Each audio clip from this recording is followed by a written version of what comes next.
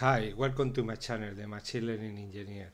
Today we continue with the series LLM Ops and uh, this is the last video of this tutorial where I'm describing how to create a, a model. Well, it's essentially a pipeline of models where we using uh, retina images we try to uh, uh, determine if a patient had or not a, a, condition. In this case, DR, but it can be used for other conditions like CKD or others. Not DR is uh, diabetes. Uh, is, uh, again, uh, possible to to confirm. No, is uh, the doctors are using the the images of our retinas to confirm if the user had uh, eh, diabetes and not only the images, the issues in another uh, in, in the health eh,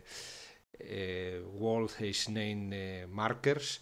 It uses other markers together with the retina images to confirm that you had or not a condition and which grade you have. Uh, is also done uh, is also used as well for other conditions uh, also use the of our retinas to confirm that you have for example in the project I was participating CKD chronic kidney disease so I'm going to do a small recap. Uh, we initially create uh, or we are using images from uh, a Kaggle competition, which uh, that was done uh, years ago.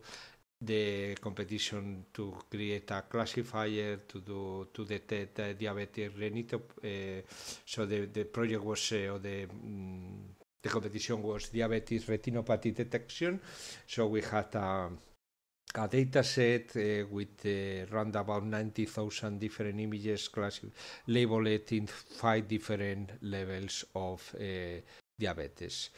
So after that, uh, some other uh, researchers created the uh, EyeQ dataset, which is a subset of the original EyePacs, which they re-annotate the images, including a new flag telling us which quality had the image, keeping at the same time the DR level. So we had now two different um, flags. One is uh, marking the quality of the image and the other one marking the level of uh, DR we use the same the same images just to calibrate uh, and to do the initial test of the project where I was uh, participating.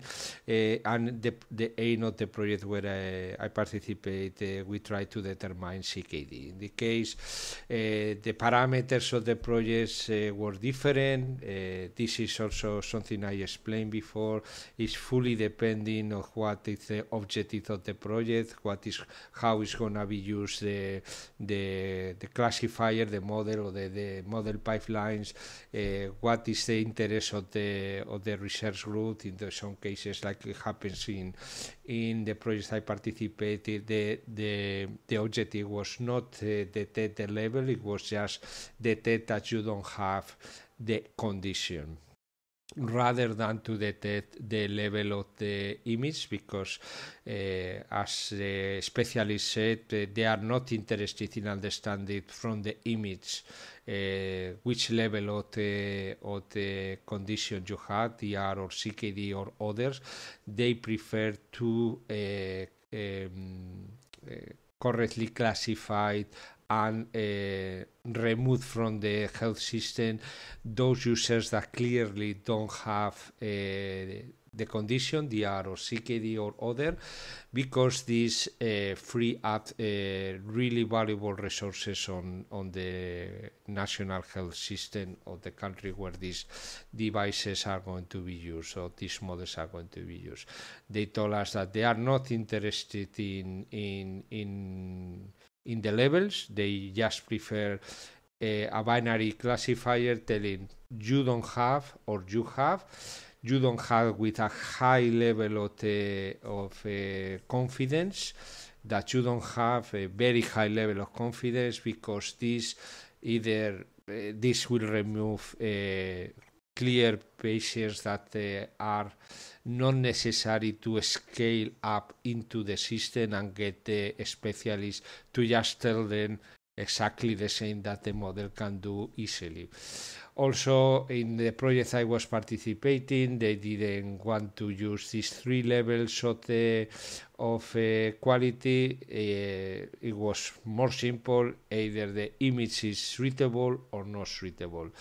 Uh, they don't consider uh, how to say good, usable, or reject. It's just uh, okay, the image is good enough to make a, a diagnostic or not. And then on white, because essentially um, they they don't use only the images first of all to to do the the diagnostic the diagnosis. They they help uh, they leverage the the process with other markers like age uh, bmi uh, gender uh, laterality many other uh, tests that they use together and uh, what they told us is uh, well is, rather uh, better to to to increase the, the quality score and also block uh, at the early stages of the process if the image is not uh, good and retake it rather than to uh, create an image that is usable, for example, classify as usable, and then on get the doctor, and the doctor say, no, this image is not possible to get any or infer anything from that, and return uh, to the initial uh, step of the process, calling again the patient to do the the to take the images. So it's better to increase the the our threshold where where we say that an image is good enough to do the diagnosis rather than to have three categories and usable well it's uh, usable uh, and if this image later on get the doctor and say that the, he cannot or she cannot infer anything from that. We are losing uh, a lot of resources and it's very expensive to call again the, the patient when it's even probably uh, delaying the whole process of diagnosis.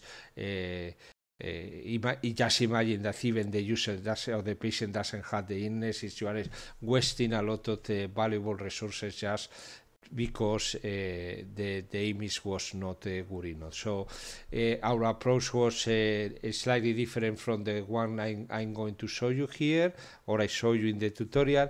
And then again, this is fully depending on the objective of the project. What I wanted to show you is the different pieces we create and, well, how you can take some lesson learned from this process and maybe reuse it in in some project uh, that is similar to this or maybe it's not the image from the ret retina images is uh, other kind of images but uh, well the process can be something similar to this. At the end as i said this uh, model this pipeline of models end up in a in a medical device and then probably is already being used in the states I don't know. I didn't.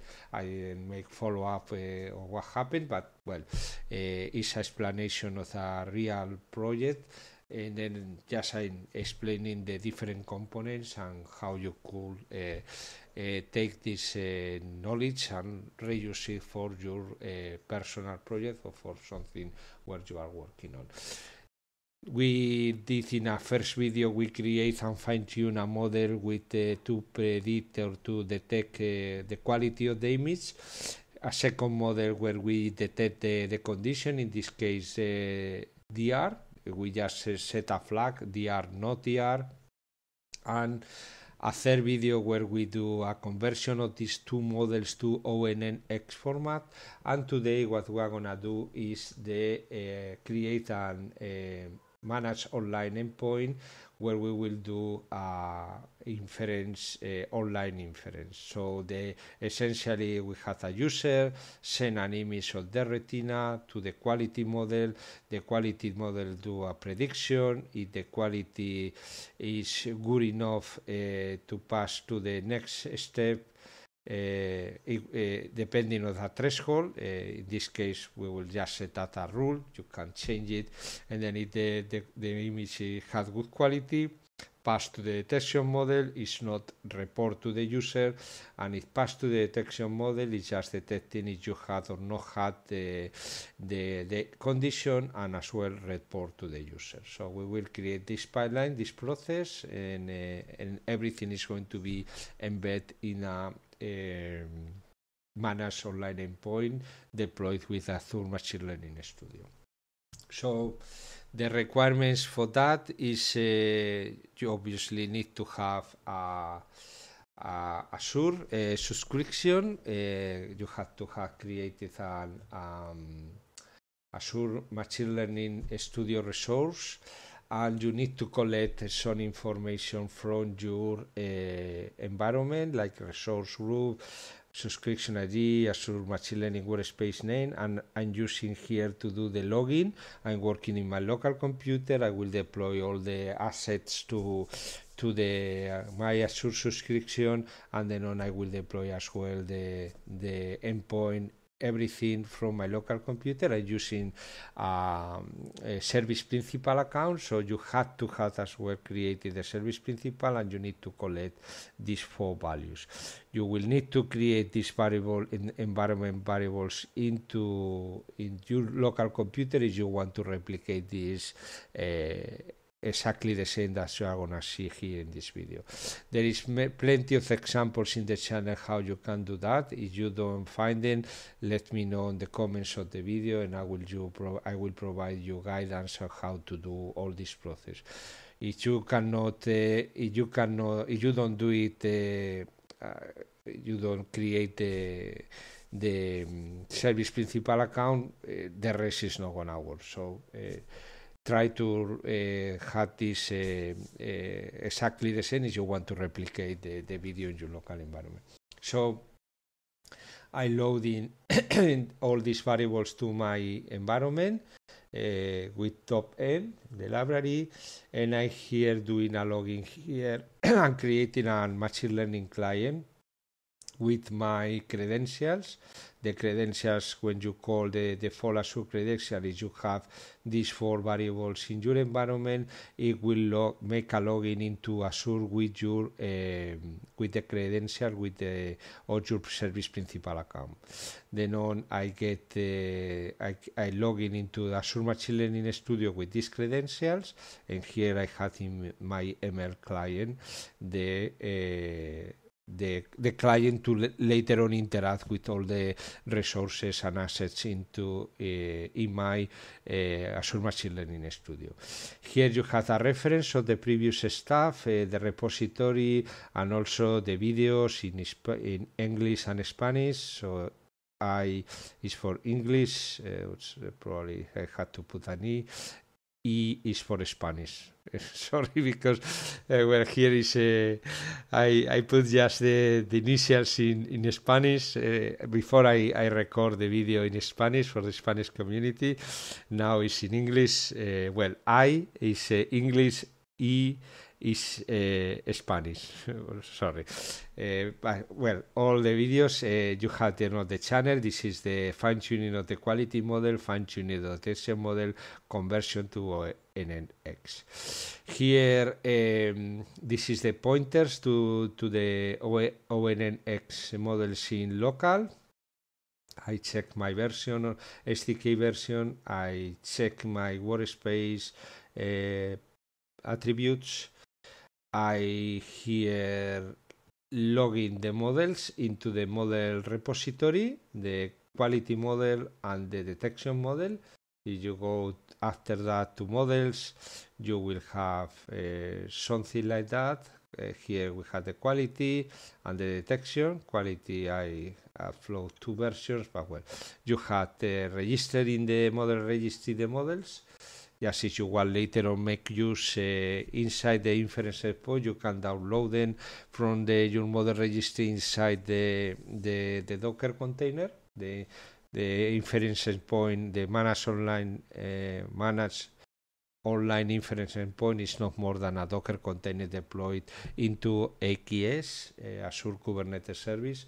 So you can do download uh, these models directly from the model registry into your Docker container if you plan to do it like that. I'm gonna do slightly different, uh, but well, it's, it's possible to be done uh, that way as well. Register the model and here both models I'm here just printing the different models I have in, in my in my model registry. This is a, a helper and I'm here uh, doing a simulation of how the inference is gonna work in my uh, inference endpoint. I just uh, create an instance of the VIT pro image processor, I read an image, I encode the image to base 64 and then on, I here create the request that I will be sending to the inference endpoint. So here I have the image uh, converted in base 64 and then on here uh, I'm simulating here what I'm receiving in my inference endpoint. The inference endpoint is not more than a Uvicorn application server with fast API. With fast API, we create, uh, or Machine Learning Studio is creating the, the entry point uh, the endpoint and well uh, you are receiving a, a, request similar to this and then is what I'm simulating here. So once I receive the request I open the, the code uh, or uh, transform the request into into JSON back and also decode the data. Then once I have the, the, the data decoded I have bytes and then on I can open the image uh, from my uh, request with the IO but bytes IO and string not bytes and you can print it out. So this image is uh, later passed directly to the uh, ViT processor, my feature extractor. And then on what you get here is essentially an image of uh, 3 by 224 by 224.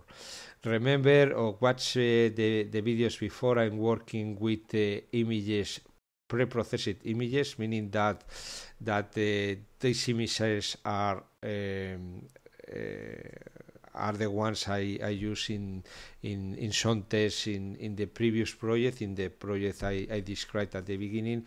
So you are using the directly the diabetes retinopathic detection, when you instantiate the ViT image processor, you will have to do do normalize equal true. In my case, as I said, I already have, I'm using normalized images, so I don't need to normalize it again. If you watch the video the previous video you will see what is the effect of doing a, a second normalization. You essentially uh, destroy the image uh, if you normalize again.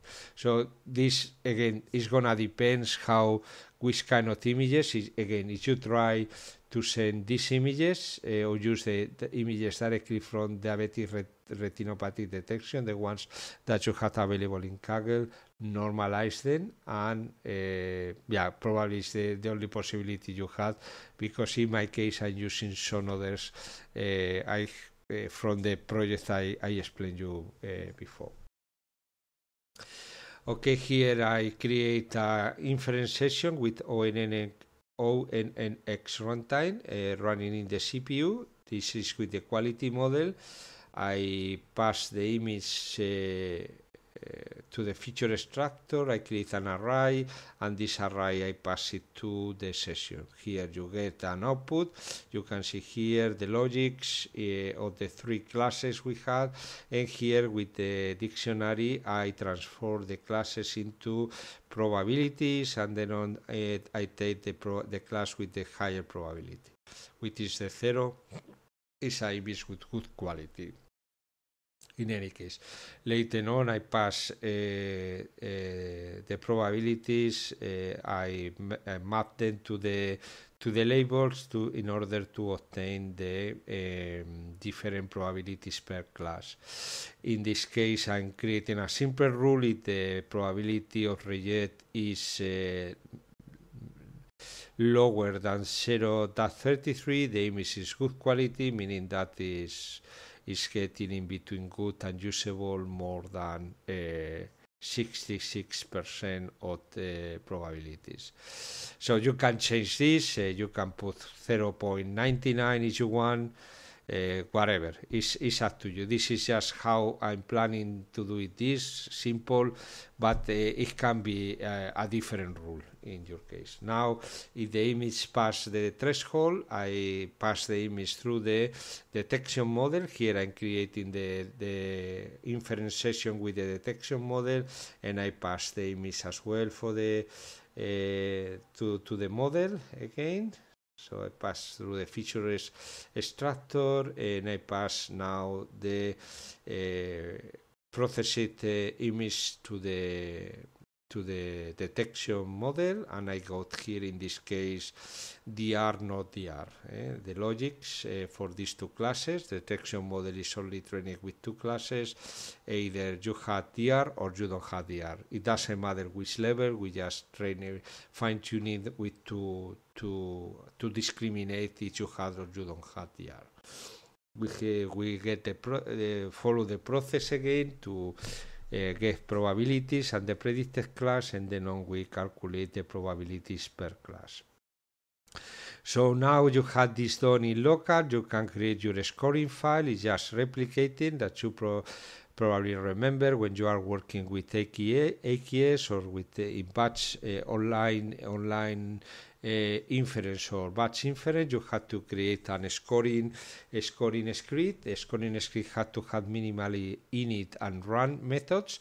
In the init is the, the method that is uh, that the Uvicorn is going to call once uh, this uh, the application server start. So here essentially you place everything to load the models. Here I'm going to load the model for local because when I'm creating the, the Docker, I'm just copying the models into the Docker at the same time that I copy the scoring uh, script. And then on what I'm doing here is just in, in my scoring script, I'm just uh, loading, creating the quality uh, model uh, session in the CPU, the detection um, uh, ONNX session also in the CPU. I creating an instance of the feature extractor and also creating the labels dictionaries one for the quality model, the other one for the detection model. Here in my run, the run is the method that it will be invoked every time that you uh, that uh, you uh, send an inference request to the inference endpoint and here you receive the input data this input data is the the dictionary that you send the body of the request eh? you uh, here we transform the, the body of the request into a JSON file and here we extract uh, the data you remember here we place into the data attribute the base64 uh, encoded uh, image. So here we are doing the opposite. Here we take uh, the data and we decode the base64 into bytes. And here we create the image uh, using a pillow image and reading the string of bytes produced in here. So we pass then the image to the feature extractor and here we first of all pass the image through the quality model and here we check if the quality is uh, below. The reject uh, label is probability is below 0.33 and it's so. We just pass the same image through the uh, detection model. Once uh, we had both done uh, case that the, the quality, the, the model, sorry, the image had the good quality, we just build the, the result dictionary and uh, with the quality result, detection result, and the time of execution. Once it's done, we just dump it and return it back to the user. Here we have three helper uh, functions. One is to map probability to to labels. Here is just to get uh, the key uh, from a dictionary given a value. And here just uh, get probabilities given the outputs of one of the models. We calculate, we get the logits, we get probabilities, and we get the predicted class. So here in the next cell, I'm just testing here as well this in local. We will invoke init and we will do the run with my input data. So here I run the init and then on I send my data. Here is the image in base64 and as you can see here run input data. Is predicting the class 0 label good. Um, and predicted class 0 label no DR and this is what the model return. All probabilities result quality blah blah blah blah blah. Okay now we are going to create endpoint uh, first of all, we create the endpoint itself. This is creating the infrastructure, essentially the application server in combination with the uh, Fast API uh, APP, our application. So we, we provide a name, provide a description and authentication key. Uh, authentication mode, sorry, there is, uh, this is gonna create essentially this part, the left side and then on is just the the wrapper eh? inside the endpoint you can have multiple deployments. You just need to call them uh, this i will show you how to do that. And then on there is three authentication types. Kbase kbase is essentially when you have the multiple uh, clients outside of your organization, the simple way to do it is just share with them a key. And then on when you are having uh, users inside the, the organization, inside Azure, either they, you can use the Active Directory or uh, Azure ML token base. We use Keybase because in this scenario is the simple way to uh, provide authentication for external users. Once you have this, uh, you use your client, uh, online endpoints and begin create uh, annotate and this essentially create your endpoint. Now here we list the, the models we have we you uh, you will need to create the environment. Here i'm creating a custom environment. This environment i i created when in in another video when we do video classification. Essentially you need a docker file and a, a requirements txt. I will provide this later on. Is on my docker folder if you go to Docker, you have here one of the curated environments which has already contain PyTorch, CUDA support, uh, PyTorch, uh, sorry, Python 3.10, and also the ONNX runtime and beside that we install all these libraries which contains the ML uh, SDK, Azure ML SDK and some other tools like TensorBoard and Transformers. Uh, the curated environment which uh, allow you to work with the ONNX doesn't contain Transformers and as you can see here PYAB is just used for video, you, you don't need to install it for this specific um, tutorial. But well uh, I can reuse this uh, environment. Uh, my environment is already here in my local. Is is just here. And I just need to pull it. You need to create it as, as I said and comment this these lines and just create the environment with together with these two files that I'm providing here into uh, the repository. You, you will have here the Docker with the two files that you will need to create this environment. What more? Uh, now uh, I get my environment just with my client environment class get the name of the environment and the version, and I also get the model. This is just for historical reasons. You you don't need it because here in the script either you can download the model from your model registry or just uh, the same I'm doing here.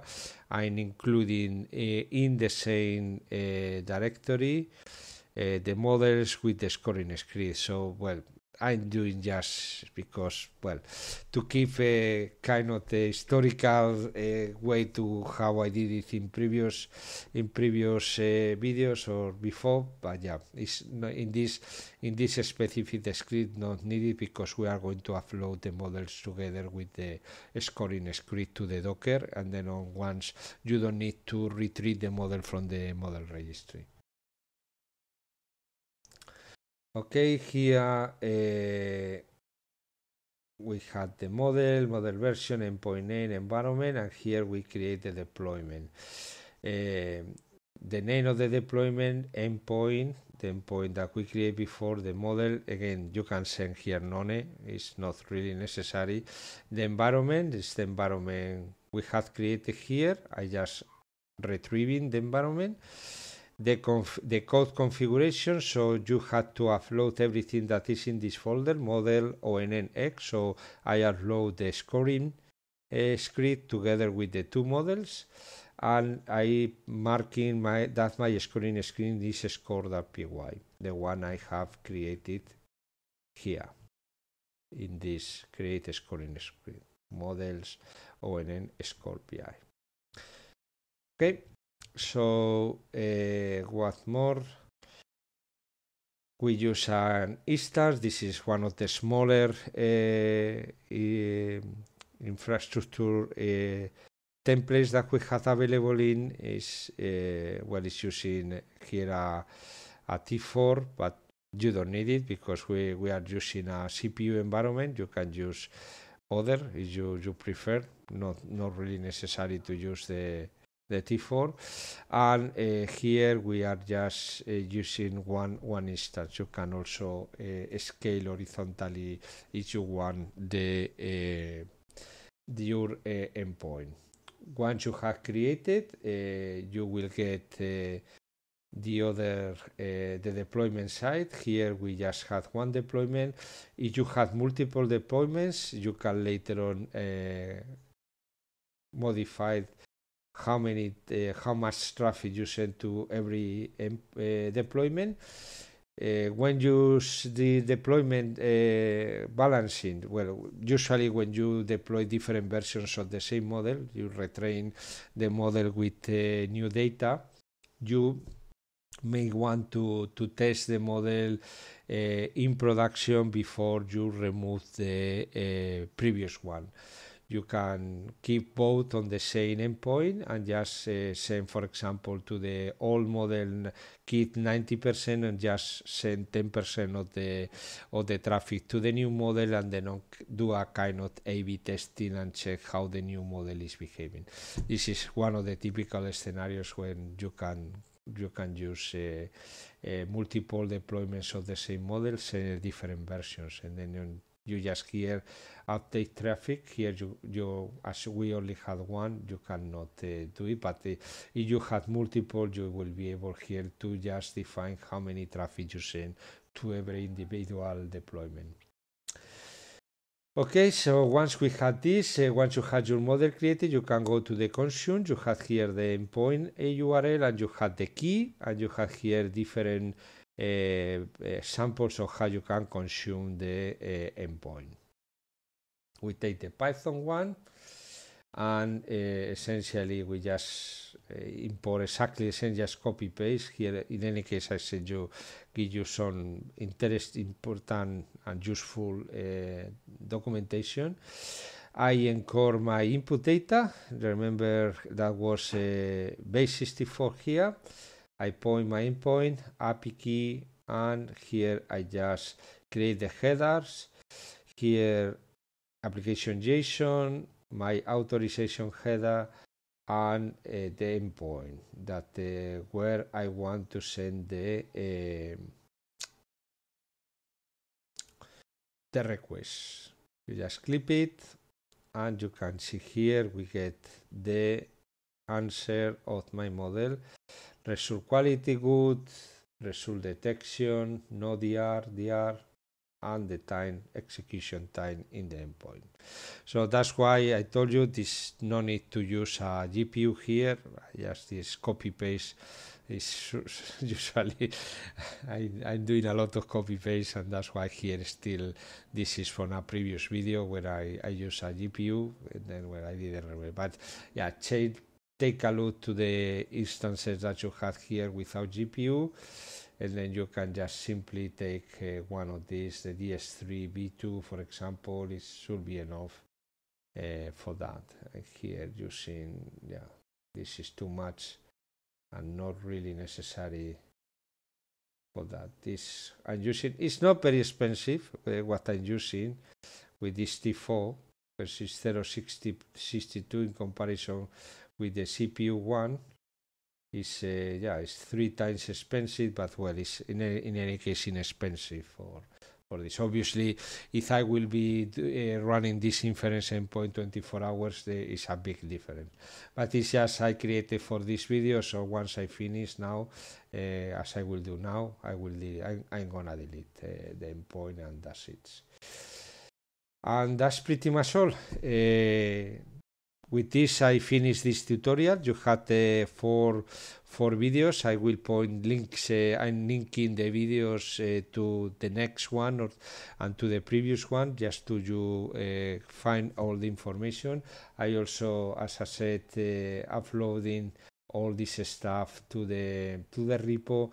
I will point in the in the repository in the sorry in the description of the video I will get uh, um, uh, I will provide a, a link to this uh, folder and also uh, to, to this uh, notebook and you will be able to find all the information and all the uh, links that you need to replicate this job in your local environment.